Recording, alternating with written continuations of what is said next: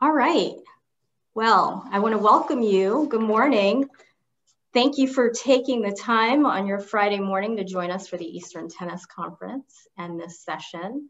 Um, hopefully you've been participating in our week-long Eastern Tennis Conference and been enjoying those sessions. Today is actually a very special day. Not only is it Friday, and we're going to talk about funding, but it is our executive director's birthday. So shout out to Jenny Schnitzer. Happy birthday. Cheers to you. Thank you for your leadership. Great to be a part of this team. Um, in doing that and having fun today, we are going to talk about grants. Um, so I wanted you guys to really get out of this session a few things, and that is uh, we're going to talk about the Eastern Grant availability. Um, we're going to talk about the eligibility.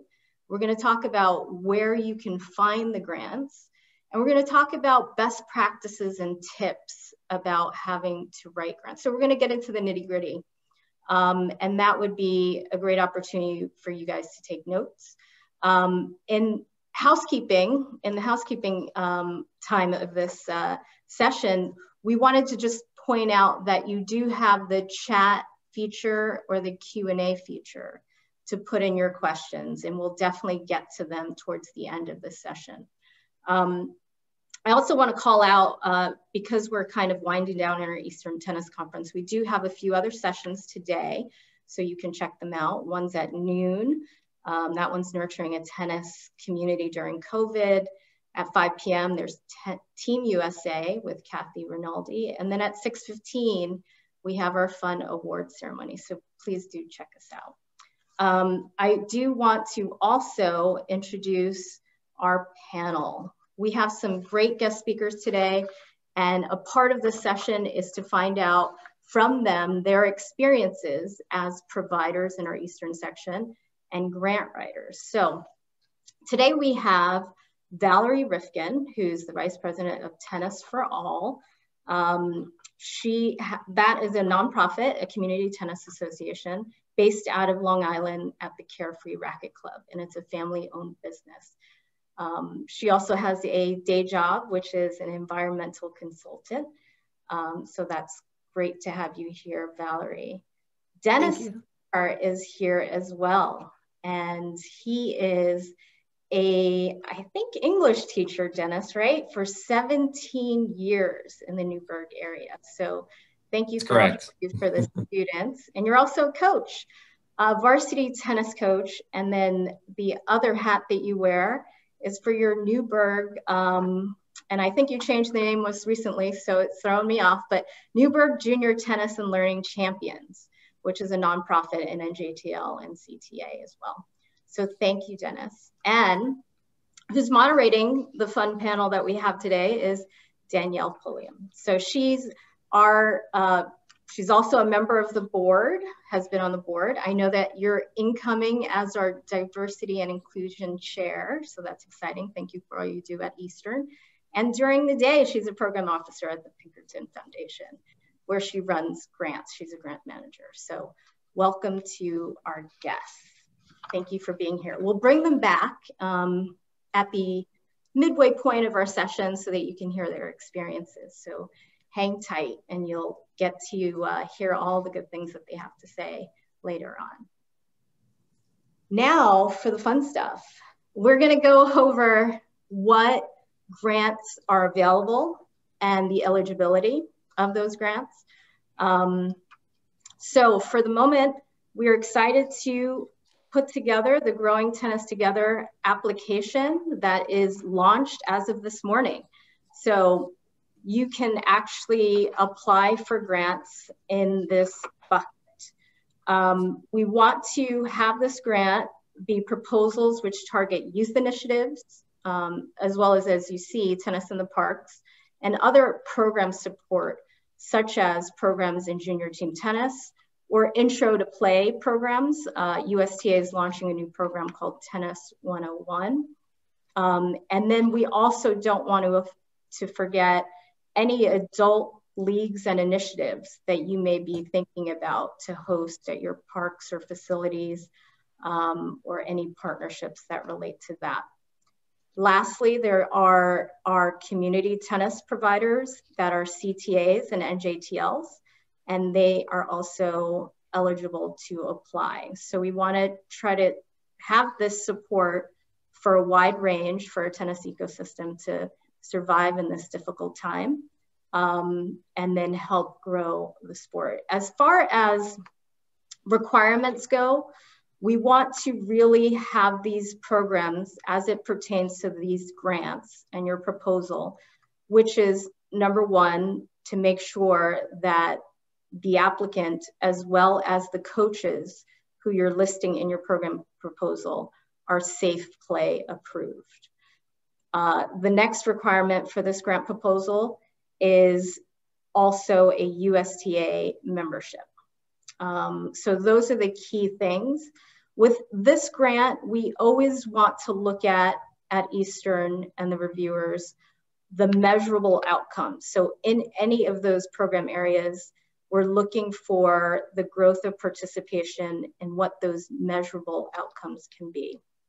Um, so the key is that it is open as of today to apply, and we do have a deadline of March 19th. We also want to support our schools. We know that during this time as well, our schools have been impacted severely where the students are not getting physical activity and a lot of our school partnerships are on pause or they've started and then on pause again. So we really want to make this grant um, almost flexible, if you will.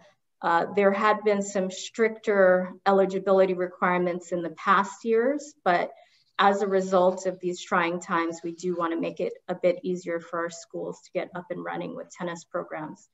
This is our, our youth, uh, our school youth tennis initiative grant, which is available as of today as well. The deadline is the 15th. We're looking for a school or an organization that can either partner or support schools in the after school space. Um, and again, we do know that we're in a difficult time, so some schools aren't allowing partners to enter the school, which we're aware of. But we do know that there has been some opportunities in the outdoor season or the outdoor time to actually have school programs happening. So we are flexible on that. We want to really support the schools. So please touch base with us for knowing what programs and ideas and connections you have made that may be great and um, eligible for this grant. The same thing applies as term, in terms of the previous grant, the Growing Tennis Together grant, by which we are requiring safe play and a USTA member organization, a current member organization. Other grants that I want to highlight that could be available, we do have our USTA Eastern partners uh, that support our programs as well. We do have in the Eastern section, the Junior Tennis Foundation, Mark McIntyre, who's the executive director, uh, had a session this week, and he supports programs throughout our section. Uh, applications aren't accessible at the moment, but I did want to do a call out that they are a part of our support system as far as grants are concerned. Um, and then a next call out to USTA Foundation. They also offer program grants specifically uh, through the NJTL or the National Junior Tennis and Learning Network. And they have a separate website. If you are, are an NJTL, you can go ahead and take a look at what grants are available through the USTA Foundation. And I wanted to point out too that they do support um, uh, players that are excelling um, and there is a requirement there that you'll see on their website as well. The next thing I wanted to point out was our USTA Eastern Diversity and Inclusion Grants. This is also open as of today.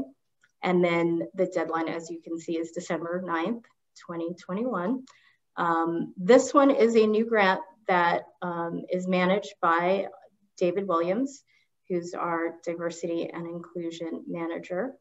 And this one is pertaining to those organizations committing to attracting to and engaging with tennis players throughout various educational projects, um, and then tying in those uh, observations of holidays or um, dates. I know that in February we're um, approaching Black History Month, so things of that nature. And then secondly, there is also a grant for our adaptive and wheelchair tennis programs. This grant is available um, to those programs and the one requirement here listed is uh, to have them registered uh, with our registry for the USTA Adaptive Tennis. And there will be a link that you go to for any programs that are adaptive in wheelchair and they can uh, just register online for that. I've put David Williams' contact in the presentation, so if you have any questions further about this grant, you can certainly reach out. Now, after I've gone through all of what our grants are within our Eastern and USTA infrastructure, I wanted to point out to you guys that there is an opportunity for other resources. Uh, Donors Choose is an organization.org, I should say donorschoose.org, is an organization that helps teachers in the public and charter school systems. Um, I've connected with them, and this is an interesting uh, opportunity for those on the call that are teachers or work with teachers. Um, this is the, the time of crowdsourcing and crowdfunding. Um, so those of you that want to explore this, I wanted to just point it out. Uh, this is something that you can look into and just click on that website to find out what the eligibility are. And with that said, I think what's interesting is, is that uh, even though we're fortunate at Eastern to offer those grants listed um, and discussed prior, that you as grant um, seekers may want to look at other opportunities by which grants are available as well. And um, that is one that I wanted to point out since here at Eastern, uh, schools tennis is a, is a priority. So I've gone over what our grants are in terms of availability, uh, some eligibility and requirements to those grants. Uh, there are additional uh, requirements that you'll notice when you do look at the applications at your uh, convenience. But at this time, I wanted to just call out what's important as grant writers and seekers uh, when writing the grant I wanted to, and this may seem redundant or remedial, if you will, uh, that we would try to provide a best practice to say, follow the specifications of what the grant is asking for. And when you're sitting down and writing a grant, try to think of how to capture the reviewer's attention. So if the Growing Tennis Together grant was looking for a grant that would pertain to programmings with measurable income uh, outcomes, what would you sit and write down? Um, so it helps to take notes, um, maybe jot down some ideas before you start typing away, and then focus on the key narrative topics. So take a look at those grant applications, sit through them, see which one you're eligible for, to apply and then just put those topics together before submitting and do a lot of editing. The next key to the grants and grant writing and what our reviewers are looking for is really a clear and defined budget. So we're looking for something that's formatted correctly. We have in the past received grants that might have been just a number, and that does not hold well in terms of it being reviewed because it's very difficult to understand what you're using the funding for. So develop the budget with a strategy in mind for what your program will be. List those costs line by line. That would be helpful for the reviewers to understand what it is that you're looking to use the grant for. And then revenue. There are many programs that charge a small fee um, or whatever fee there is. Put that in if that is applicable, because we do want to see that. In the grant narrative, you may have wrote, someone may have written, there is a fee and then it's not reflected in the budget. That does not mirror what your proposal is. So as some best practice and advice, make sure that it aligns with your actual narrative proposal and then put it in your spreadsheet. Lastly is check your map. If you are using a spreadsheet, you can actually set the fields in an Excel spreadsheet to aggregate or sum the total for you. Um, with that said, I think even though this may sound repetitive or you've seen it before, create a spreadsheet that makes sense. This is a template. Um, after this presentation, we can definitely make sure that you can have access to this particular template is really simple. Uh, the top fields, as you can see, shows the revenue of this program if there's money coming in through foundations, government, or corporations. But most of the grants that come in are either from contributions, um, or revenue from player, player fees. So I've used that as an example in this case. And the other thing is for the expenses, specify exactly what it is. You can create a uh, column to put notes about what those um, items would be, and then you can specify exactly what that is in a spreadsheet. And again, this would mirror what your narrative in the actual proposal uh, would look like. So I know this is uh, sort of uh, dry and, and nitty gritty stuff of grants, but I do want to make that call out as a simple reminder. Um, now that you've actually gotten a chance to get familiar with two simple tips, trying to um, have that narrative ready, putting some notes together, pinpointing what your budget's for. Now you're sitting down and you're like, now what? Where do I actually go and apply? So we do have a grant portal that we use at Eastern for the Eastern specific grants. So it would be Growing Tennis Together, the schools grant, and the DNI grants would be found in this portal. Um, we, you can find it on USTA.com, but so it's on our website and then you can access that. You would need to create a new account if you haven't applied through our Eastern grants in the past three years. Um, if you hadn't applied uh, in these past three years, you would need to create a new account, which is really easy. You see it on the screen. You just click on create new account and then plug in your information. So that's the technical side of it. Um, wrapping up uh, with all of this technical stuff, I wanted to make sure that you knew that it is important for us to guide you through the process. There's a few grants that um, our team can help you uh, learn about what those are, what it's for, kind of get feedback from our team. So uh, utilize us in wanting to find out more information, clarification, support in your efforts to writing these grants. Um, now that I've gone through the boring and dry stuff, I want to bring in our panelists and um, have them uh, share their knowledge and uh, experience from the programs that they run. So I'm going to kick it back to Danielle. Thank you. Um, Jocelyn, that was wonderful information that you shared with everyone.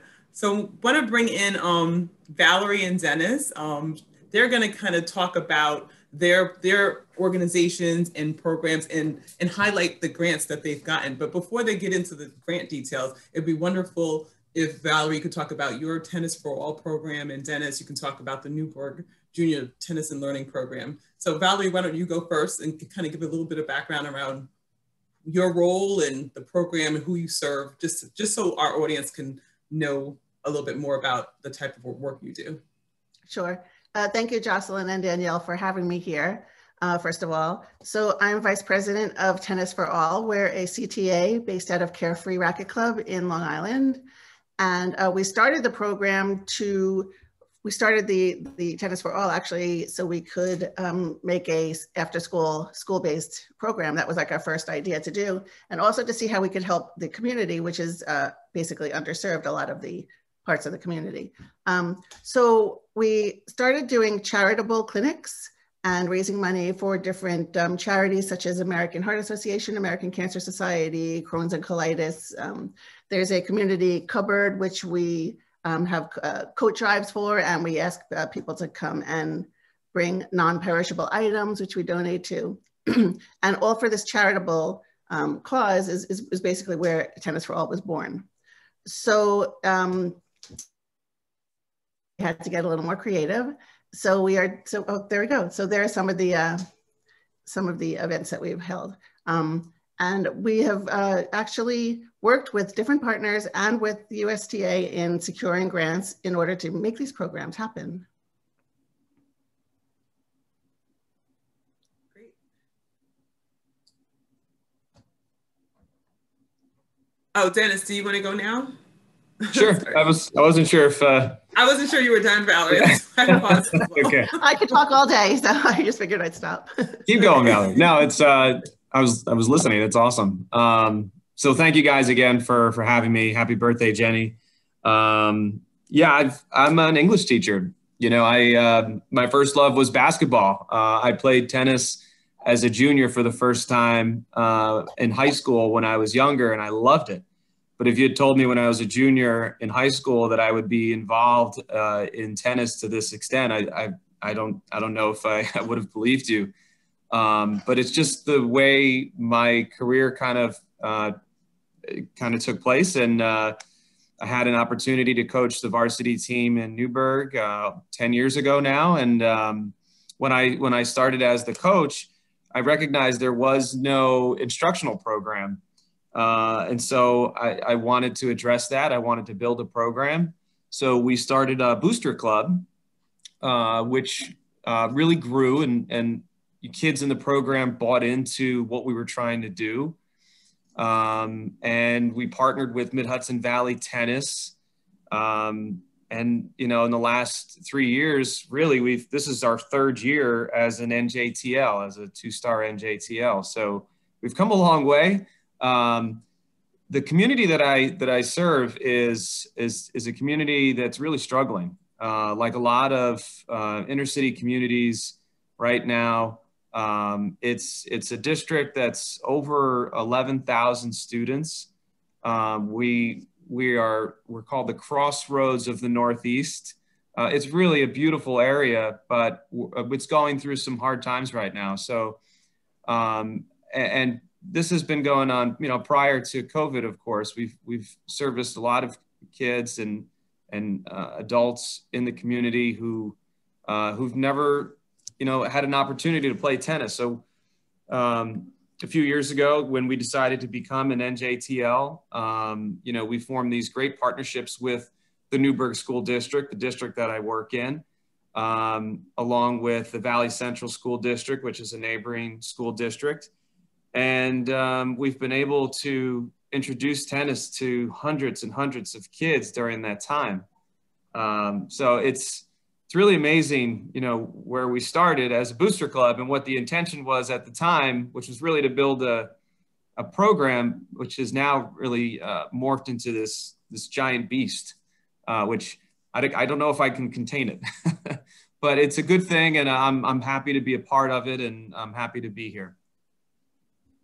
Thank you. Thank you, Dennis. Thank you, Valerie. So I think um, I know we have some questions in the chat, but before we get to those questions, as the moderator, I'll take moderator privilege and ask you guys a few questions just to talk about you're the grant seekers for your organization. So really to help our audience understand what types of, what are your funding priorities and what types of grants have you received from, from USTA and just kind of walk our audience through that process.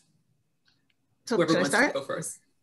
So uh, for, for Tennis for All, um, our biggest priority actually is uh, paying the pros. So we do have partners. We work with Carefree. Carefree does donate a lot of the court time when possible. Um, and the pros actually do also donate their um, fees as well. Um, but we can't just ask them to work every program without getting paid. I mean, it's their livelihoods. Um, no matter how worthy the cause is, we need to pay the pros.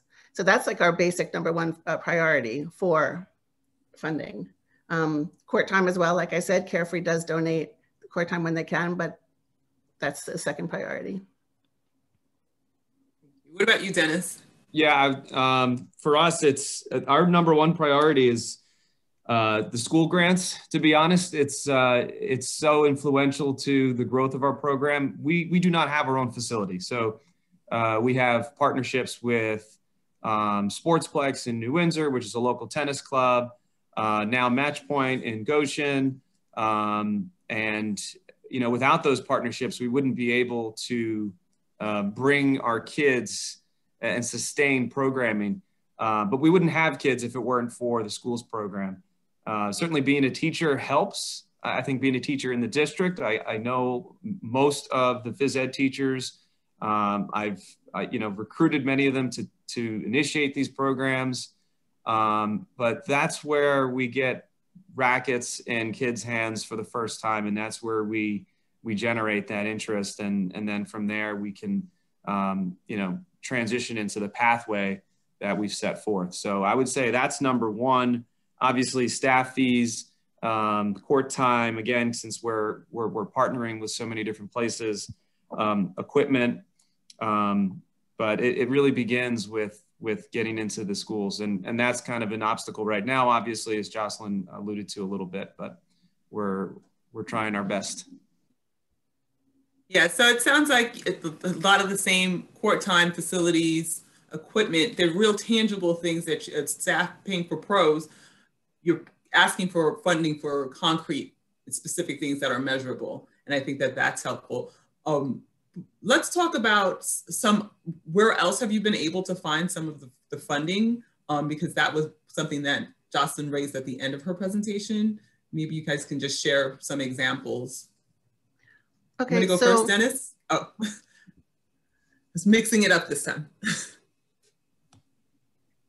sure. Yeah, um, we've we've had these annual play days, which have been fun events for our program and the community, um, where we bring you know we bring people and anyone's able to come and uh, we we basically take over the local club and um, you know we just have a great fun event. Uh, it's an opportunity for us to reach out to local businesses, for, uh, to ask for sponsors. Um, and prior to COVID, we had our most successful play day, raising almost $10,000. It was a great event. Um, and we'd like to repeat that, although we, again, we're, we're running into some obstacles, but that, that was, um, that was our, that was our model really. Uh, and we had not only uh, an opportunity to connect with community members, but we were bringing in people who hadn't played tennis in a while, who had learned about what we were doing, and they wanted to make contributions to the program. Um, so, again, in the age of COVID, we're, we're trying to find creative ways to um, recoup some of that. Um, but prior to COVID, that, that, was our, that was our model. And, and uh, you brought in, that's great that you start, started talking about COVID. So I know, um, Valerie, maybe you can also frame it around like what, where you were with COVID in terms of pre-COVID programming and what it looks like now. How has COVID impacted your, pro, your programming and fundraising? Okay, so pre-COVID, we basically focused on our um, school-based after-school program in the Bellmore Merrick community at an elementary school, which was wildly successful when, once we got it off the ground and we were about to expand to a second school until COVID hit. So that put the kibosh on all of that. Um, now we basically are starting some exciting new programs in the time of COVID. Um, one of them is we're focusing on the beginner tennis players who only started playing during the pandemic because tennis has been touted as a safe sport. Um, hundreds and thousands of people flocked to the parks and to the outdoor courts and started learning tennis. So we're trying to form a new niche um, of these players and start um, safe beginning, you know, safe lessons and play for these beginning players in a safe environment, regardless of the weather, indoors and outdoors. So we're bringing them indoors. And um, we've been having some success with that. Uh, also, another thing that we're focusing on is the, the junior team tennis players. A lot of families do not want their kids playing at other courts because of the pandemic, but they do feel comfortable having their kids at their own home court. So we're doing a series of in-house challengers with these junior team tennis kids and you know, the young kids so they can still keep their competitive edge, still keep playing, um, you know, until this pandemic is over and they will, again, you know, branch out again into, into uh, team leagues. That's great. Making the situation work, you know, making the best Trying. of the situation. yeah, that sounds great. So are there some of the things that, some things that you're seeing now that you're doing that you will continue past past COVID, like some new things that you just started, like this in um, in-house tennis that you just started? Are you challengers? Talk about, are there any things that you're going to continue that you think hey, this is working? We might do this past, past once we get out of this COVID pandemic situation. Yeah, yeah. I mean, especially with the new players that just started playing in the pandemic, um, we're going to try and keep them for life and actually like move them along the pathway into leagues and and other, you know, different, you know, once the pandemic is over, back, you know, into leagues. So, so yeah, I mean, hopefully they will just catch the bug, which a lot of them have, we've noticed, and will just continue to want to play. Yeah, I mean, it's uh, it's been a full transition for us, and we kind of discussed this when we met uh, a while back about you know the the debate between quality versus quantity. And, and for us, like we had to pivot and really just focus on quality instruction in small cohorts. So that's been our real, our, our main focus right now. And as you can see in some of the pictures here, uh, one of the things that we've pivoted on is um, a new programming. So what is something that, again, like Valerie mentioned, that we can do uh, that's safe and and so uh, we've we've uh, formed another great partnership with Faz Ali, who I believe is on the call. Hope you're on the call, Faz. Um, and this is uh, these are some photos from our, our, recent wheelchair tennis event over at Match Point in Goshen. Um, so smaller cohorts has really been our main focus and in, in improving instruction and bringing in volunteers and uh, improving our instruction has really been the main focus. Uh, so I would say that's that's something that's not going anywhere. you know, once once uh, instruction improves, uh, then we can again when we're able to ramp up the the quantity some more. I think that's only going to improve our our program and grow our program even more. And we're opening it up to questions. Um, there are a couple of questions in the Q and A um, chat. Um, and I'm encouraging others, now is the time to kind of type your questions in. So we do have a question from Herbert. How do how does the club fight help you financially, and do they charge um, for the use of the club? Oh, I'll take that. So with Carefree, um, Carefree does donate the court time as much as possible. Um, there are times when we can't, but as much as possible, they can, they do. And if we can get some reimbursement from the grants, that was an extra bonus. And then Michelle has a question. Will the USTA be advertising sites for Tennis 101 with a detailed schedule of um, days and night programs that can be searchable? I guess this is a, a Jocelyn question.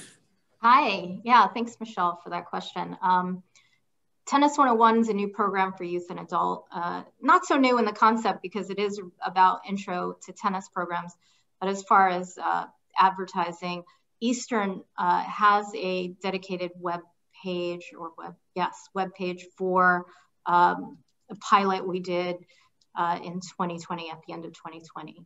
So we'll continue to strive to make sure that we can do what we can to market and promote on our USTA channels. Thanks. Dawson, there was another question around adaptive grants, applying for adaptive grants. I don't think you mentioned that in your at the end when you were talking about the different categories.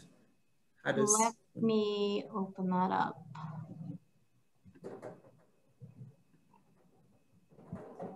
Do you have the question handy? Some I don't think I'm seeing it on my screen. Oh yeah, no, I'm just asking you the question.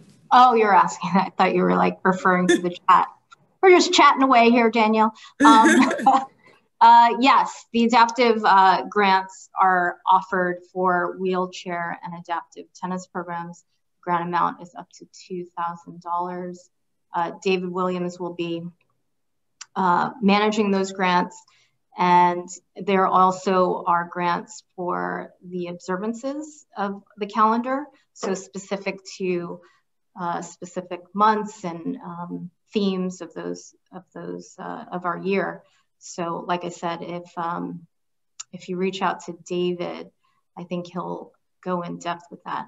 Uh, I do want to circle back since we did open it up about uh, some of those technical questions um, about the grant process or the eligibility is that uh, all grants uh, cannot, our grants at Eastern cannot fund registration fees um, and transportation or membership. So just bear that in mind. And that is for all our grants that go out. And then I also wanted to call out, we do work with our regions. So we have our sections uh, as Eastern for those grants that I've mentioned. And I do want to call out that we do have the region grants. So through our regional councils, there are some funding available that could support our uh, tennis ecosystem throughout the section. So I would recommend that uh, you connect with our team, the community tennis department, our tennis service representatives uh, to find out more information and then you'll get connected to the council who uh, likely the regional council director uh, for uh, those grants. Great. Any other questions that are coming in the chat? Lots well, there's another, I have another question. Um, I'll yeah. ask a question while we wait for those questions to come in. Um, just, I think um, you guys started, Valerie and Dennis, you mentioned a little bit about some of the, the partnerships that you you have in, in fundraising. Maybe you can expound on that a little bit more to kind of talk about what you're doing in your local areas. You know, what, what do the, these partnerships look like and how are you collaborating in the fundraising part of it? Okay, uh, yeah, so we do have several partners that we work with. Um, number one is, um, well, different charities, American Cancer Society, American Heart Association, Crohn's and Colitis Foundation, you name it, um, a bunch of them. Um, we work with the local food pantry, uh, having people um, donate non-perishable items, which we, again, in turn, give to the local food pantry. We've held coat drives and for every coat that a person would donate, they would enter a raffle for an hour and a half of free court time at Carefree. Um, all, all different kinds of charities, you name it. Um, Ju uh, Juvenile Diabetes Research uh, Foundation. Um, uh, basically just, we, we want to work with these partners in order to, A, number one, help out the community that we live in, and number two, to um, get more people to play tennis. And having people help out really gets them excited as well to join the, the game. So. That's great. Thanks. Yeah, we, um, our, our community sponsors have been, have been tremendous um, in supporting, you know, our program goals, our initiatives, um, you know, receiving sponsors in kind. We have, again, we have a ton of, uh, of partnerships and relationships. And that, that's really been the key to, to our growth and, and getting our word out. Um, I will add that it is challenging as, um, again, as, as a not-for-profit, um, as a limited staff of one, it, it, it, can be, you know, it can be challenging to, to promote um, and, and maintain, you know, um, my, my day job responsibilities. Um, but we've we've been able to implement certain programs each year and, and in, even in my high school program um, we have an annual match that we play. It's our it's our senior night match where it um, you know again we have guests come in we have visitors come in and, and make donations. Uh, that money goes to the american cancer society. Um, my the kids in my program are all volunteers uh, in in the uh, programs that we run for our red, orange, and green dot ball cohorts. So the volunteer hours that they are accruing uh, is something they can add to their resume And what I'm noticing in doing this over the last few years is that I have a lot of high school to now college age kids who still want to volunteer. They still are involved in tennis. So it is introducing another problem, uh, but something that I, I think we're going to be addressing this year. And it's that a lot of kids, and this is this is true if you look at the data, a lot of kids when they're done playing high school tennis, they kind of fall off and, and they don't necessarily participate in USPTA. So we want to find ways to keep them in the game uh, and keep them playing. Um, so that's something that we're, we're kind of working on right now um, to keep our college kids engaged in USTA events um, and to keep them playing because they're still giving back, they're still donating. Uh, and so we want to recognize that. That's great. You, you both are really just getting great great examples of the creativity that you use to to to bring resources into the organization. And just being a limited limited staff you have to be. So it's kind of out of necessity but it, it's these are great examples. Um, we have a few more questions coming in. Um, i guess i'm just gonna i think a, a, few of these questions are directed to you jocelyn. So um, yeah. i'll just I'll just go, I'm gonna read from the bottom. There was a one uh, $1,000 regional grant that the USTA Eastern had previously. Um, I was told you didn't have to go through the normal grant application process. Is that been put on hold because of COVID? Is it still available? Was, is the question. Thanks for that question. Um, so for this year in 2021, uh, those smaller grants are really gonna come from the region. Uh, typically the region grants are up to $1,000. So um, that would be uh, the availability as far as those smaller grants are concerned. It has to go through the process. Um, so we have applications up as well for those region grants using our Foundant system through the grant portal. Um, and again, we could um, send you the direct link and walk you through that uh, going forward. Um, there's a question, uh, maybe Dennis, you can take this. Are there requirements for junior players to register for programs supported by grants through ServNet or Net um, Generation? I think Kristen wanted to answer that. There was another question. Oh, I'm sorry. I'm having problems back. That's all right. I, I, saw a question about um, how we reached out to the schools. I believe it was. Oh, okay. Yeah. So if you can find it, then please. There's a lot of things popping up on my screen right now. sorry. Yeah. Um, so the question was, uh, uh, sorry, how did you develop the relationship partnerships with your community schools? Um, again, being a, a, teacher in the district um, really helps. Uh, so knowing someone in the district is is probably the first step. Um, my district, again, we're we're a large um, inner city school district. Um, we have nine elementary schools in the district, so initiating, you know, before school or after school tennis programs in each of those districts required uh, reaching out, just me reaching out individually to the phys ed teachers that were assigned to those buildings. Uh, fortunately, I, I already had, as a coach in the district, I already had some relationships with many of the phys ed teachers. In some cases, it was just kind of cold calling and emailing them um, and, and bugging them explaining the benefits of the program and um, the equipment that they would be getting, um, the the collaboration that they would be receiving in terms of the professional development with the tennis pro coming into the building. So, um, and that model, you know, has has stayed true in in, in Valley Central in our neighboring school district, which has uh, four elementary schools. Um, and we're doing the same thing now in, in another district, which we're branching into in, in Washingtonville. Hope that helps. Great. Um, I'm seeing questions in the chat and in the Q&A, so I'm not sure which one I should be focusing on. No so worries, Danielle. I'll jump in on, on one that I saw pop up in the Q&A. Um, okay. Michelle asked, what is the benefits uh, of these Tennis 101 players that join USTA? Um, well, I'll, I'll take this question um, and and say that from a perspective of what we're going to do at Eastern as far as Tennis 101 is concerned, is that we do want to support it uh, not just with the availability of these grants, but we've also uh, considered some value propositions, if you will, to use that term, is um, some rackets, to consider some rackets.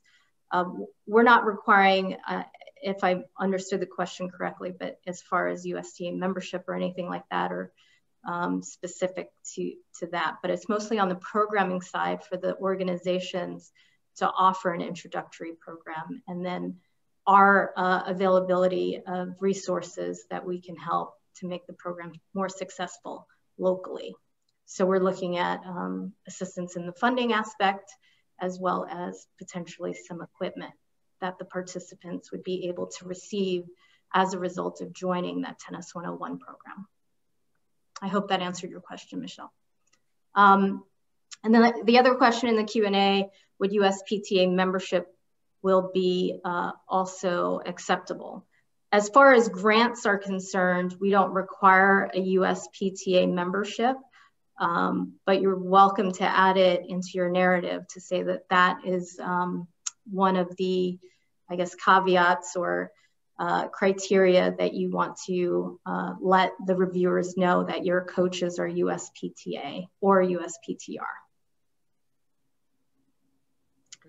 Is nonprofit, yeah, another one just popped up. Uh, thanks, Gregory.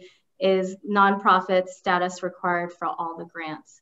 Not for all the grants, because there are some partners or organizations that may not be in the example of some school providers or partnerships, I should say. So in our school youth initiative grants, there may be some opportunities for uh, clubs that are not not-for-profit to support initiatives in the school. So we, as I as I noted earlier, we want to be flexible because sometimes that's where as we uh, learned from our school session this past week, the opportunity may lie is that some of these clubs within these local areas of our section are able to offer tennis in the schools. And then the grant would be applied from uh, that organization that may be a club. And that is an example from the school's perspective. Um, however, I do want to say if in fact you check the box in the application that says whether or not you're a not-for-profit or nonprofit, you must provide information that you are. So your EIN has to be intact. Um, we do a um, GuideStar check uh, that indicates uh, whether or not your nonprofit status is current. So if you are, again, writing that in your grant that you are, uh, that has to be proved, proven. Hope that answers that question, Gregory. There's another question that just popped up around grant requirements. Can you repeat the Safe Play approval information and does everyone involved in the program need to be Safe Play uh, approved? That's administrators and all the pros. Hi, Joni Akpan. This is nice to nice to have you on this call. Um, yes, that is correct. Uh, in terms of the safe play approval, it is a requirement. And I'll edit that in a bit to say that the person applying for the grant, we want to be safe play. So the applicant herself or himself should be safe play. And in your grant narrative, um, such as with with Valerie, um, some of those tennis pros are listed in the narrative and next to their names say that they're safe play approved. So we do want to be very um, careful um, and really take this precaution seriously um, and do our due diligence as an organization to make sure those specifically who are working with uh, young uh, players or juniors. Um, even though if your grant may specify uh, just adults, we still want the safe play for the applicant. Hope that clears that up. You can always email me to discuss it further if you feel like uh, that wasn't clear enough. So I, I thanks Jocelyn. I think that um, you know, I know we're winding down on the hour, and we have we have a, a full audience. A lot of people are on. Um, Want to ask Valerie and Dennis. There, a lot of people are very new to the grant process and you guys have had some experience.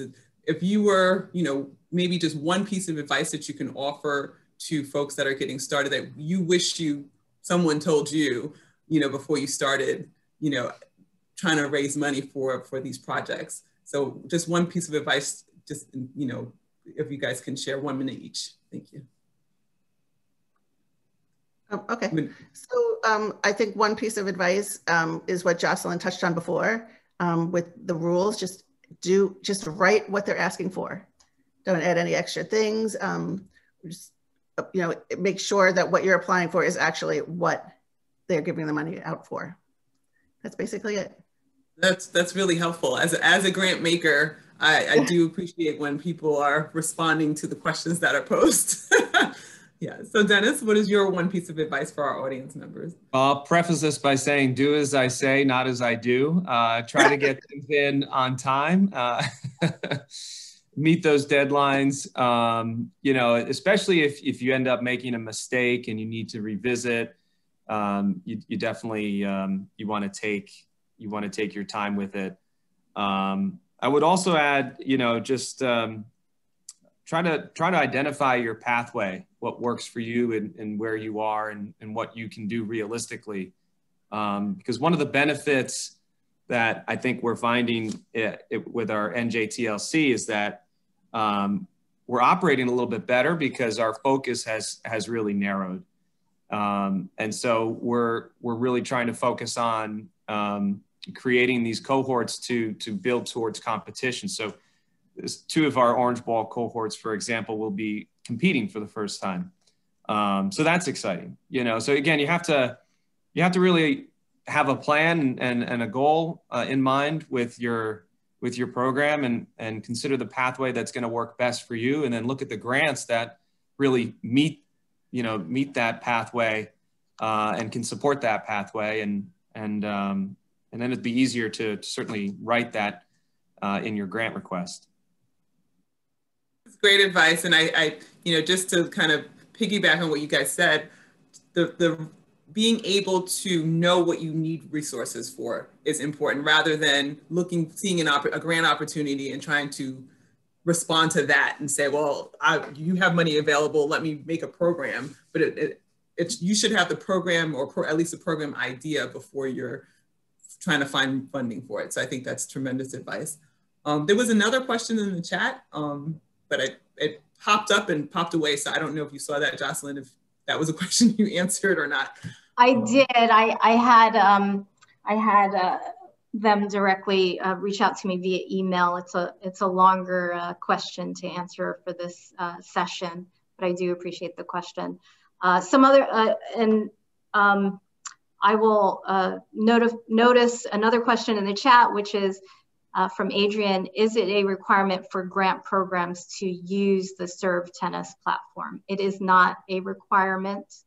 Um, we don't, and, and I'm gonna put this in a way that's, you know, empathetic and sympathetic. We're in a difficult time of our, of our lives, not just in the tennis world. So, um, but for us, circling back to what what's important and uh, for our tennis industry, we don't want to put too many barriers up. Uh, Serve Tennis is a, an exciting new platform that's coming through, um, but to offer that as a requirement right now um, is is not an appropriate time, but um, we'll definitely look into it. You'll probably notice uh, this time next year we'll we'll say, hey, here's another requirement. But uh, for now, no, it is not a requirement for the grant. Thank you for that question as well. I think we are about winding down, aren't we, Danielle? Um, yes, yeah. This has been a great conversation, and I really just want to thank you and thank Eastern, you know, for hosting this conference, and thank thank our our guest panelists, Valerie and Dennis. You guys are amazing. The information that you shared, I think, is going to be very helpful for the audience. Just the the thoughtfulness of what you your how you approach this process. It's very helpful. So thank you so much. I um, agree. turn it yeah. back over to you, Jocelyn. I agree, and and you said it. I mean, it's it's about the conversations. It's about the time. This this conference, we're always about networking, and to hear from Valerie and Dennis and Danielle with your expertise and and your background, and also being a part of the session, it truly helps.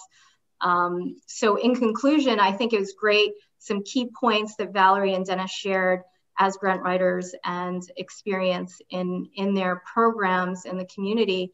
Um, plan and have a goal in mind, as they said.